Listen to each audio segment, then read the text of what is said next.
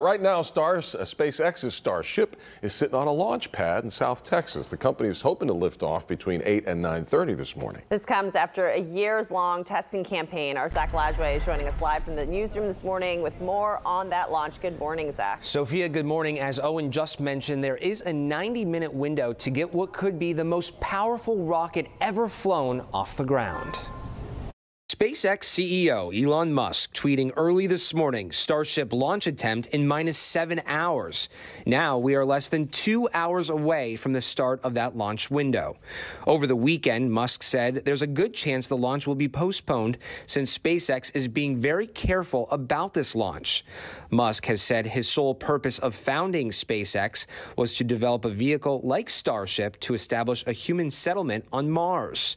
If today's launch takes to the sky, the inaugural flight will not complete a full orbit around the Earth. If successful, however, it will travel about 150 miles above the Earth's surface.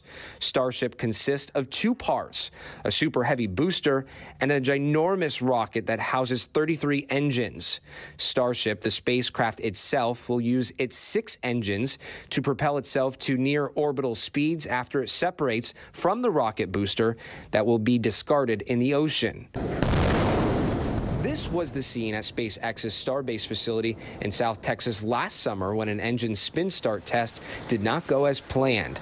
Elon Musk tweeting SpaceX personnel did get the data from the test they needed. So, what's riding on today's launch? Some would say a lot, not only for SpaceX as a company, but also the ambitions of the U.S. government when it comes to human exploration.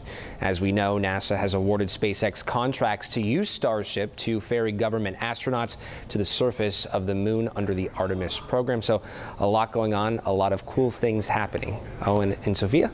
Yeah, oh, can't wait. A couple hours to go. I love watching it. Thanks, Zach.